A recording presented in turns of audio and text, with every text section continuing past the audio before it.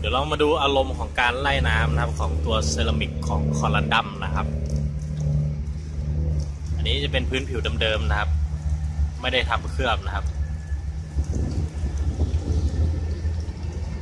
ฝั่งนี้นะครับลงเซรามิกนะครับที่เราทดสอบกันไป